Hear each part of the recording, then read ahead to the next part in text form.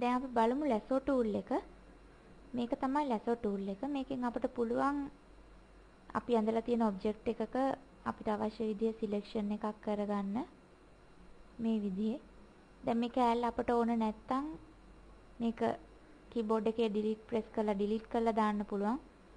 එමත් නැත්නම් අපි කරපු සිලෙක්ෂන් එකක් වෙන තැනකට අරගෙන යන්න ඕන නම් මූව් ටූල් එකෙන් අරගෙන යන්න පුළුවන් ඒක පැත්තකට.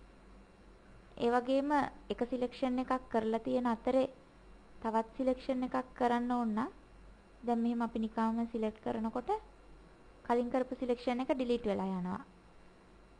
ඒ කියන්නේ ඩීසිලෙක්ට් වෙනවා. එතෙන්දී අපිට පුළුවන් කීබෝඩ් එකේ shift එක press කරගෙන සිලෙක්ට් කරාම මේ විදිහට සිලෙක්ෂන්ස් කීපයක් කරගන්න.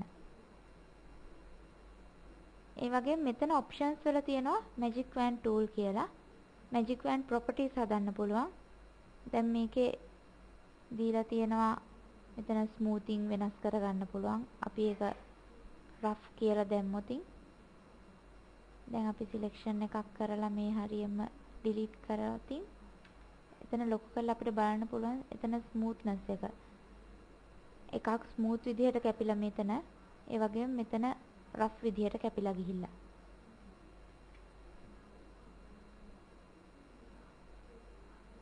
ඊළඟට මෙතන තියෙනවා පොලිගන් මෝඩ් කියලා. මේ පොලිගන් මෝඩ් එකේදී වෙන්නේ අපිට ෆ්‍රී හෑන්ඩ් සිලෙක්ට් කරන්න බෑ. මෙතන ක්ලික් ටු ක්ලික් තමයි මේ සිලෙක්ෂන්ස් කරන්න පුළුවන්.